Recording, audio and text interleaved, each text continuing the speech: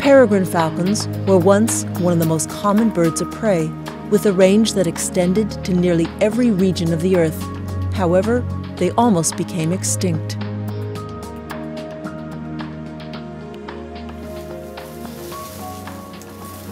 Joel Jeep Pagel, raptor ecologist for the U.S. Fish and Wildlife Service, has been working with peregrine falcons for most of his career.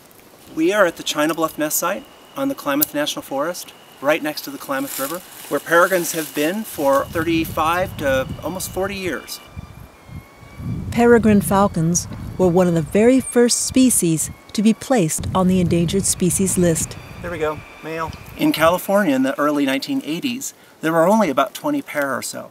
They were a species that were completely on the brink of extinction, and we almost lost them. The factor most responsible for the bird's decline was the use of the pesticide DDT. And when that particular chemical got into the food chain, it impacted peregrines by causing eggshell thinning. Because the eggshells were so thin, we had to do things such as nest site manipulation. In an effort to save the species, peregrine falcon eggs were collected and exchanged. These are dummy peregrine falcon eggs. These are formed in such a way that it is the exact shape and size of a peregrine egg, as well as the same heat retention capabilities that a peregrine egg has. The real eggs were then placed in a specially designed portable incubator. The incubator is a device that we had the Rogue River National Forest radio shop build for us. After the eggs hatched, the chicks were banded and then returned directly to their nests. And then we put the chicks in, and oftentimes by the time that we would pull the rope up, the adults were feeding the youngsters. It was a very effective way to increase the population size of peregrine falcons. Collecting eggs is no longer necessary, and peregrine falcon chicks are now banded at the nest site.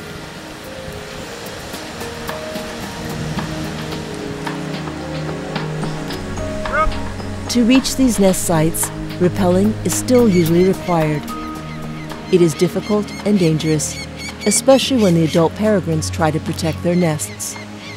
One particular nest site that I climbed in, and during my 20 minute nest entry, from the time that I throw the rope down over the cliff to the time that I'm pulling my rope back up, this female hit me 87 times.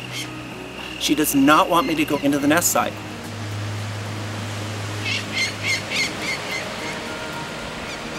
When I climb into the nest ledge, what I'll do is I'll sex the youngsters based on the size of their tarsus. Female peregrines are one-third larger than the male peregrine falcons. Eggshell fragments are collected and monitored, and the chicks banded. These are the bands that we put on peregrine falcons, and they'll be on the birds for the remainder of its life. It's a method for us to help understand where the birds go and, in some instances, how those birds die.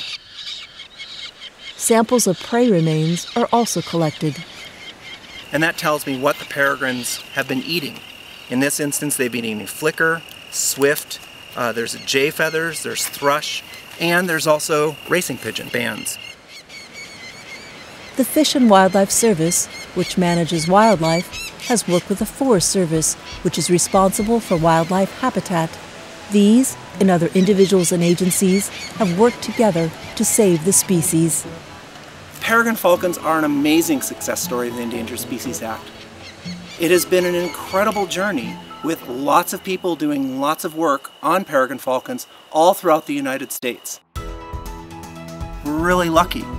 Their populations have resurged to the point where they've been taken off the endangered species list, and they're now doing quite well.